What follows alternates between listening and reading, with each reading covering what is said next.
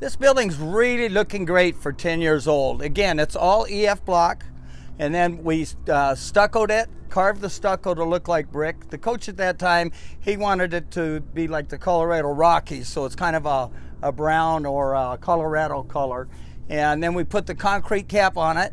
Uh, we've got some umbrella sleeves we put in there. This building here is really, really amazing. Uh, we took an infrared camera and shot the outside of this building.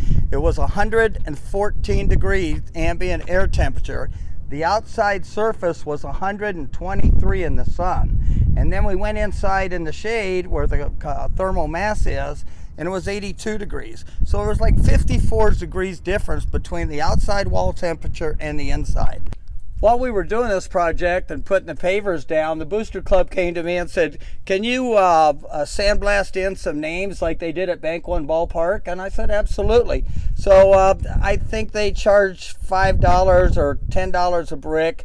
Uh, and we sandblasted it in and grouted it, and it's pretty good.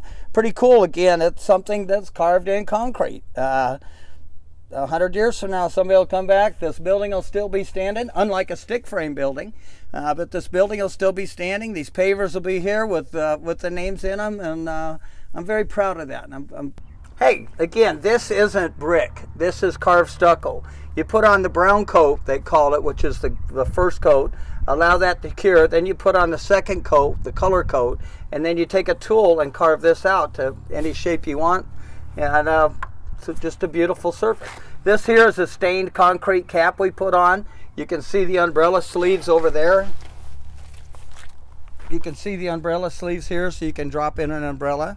And then around front I want to show you the pavers we did where we sandblasted their names in and grouted it. It looks really, really cool.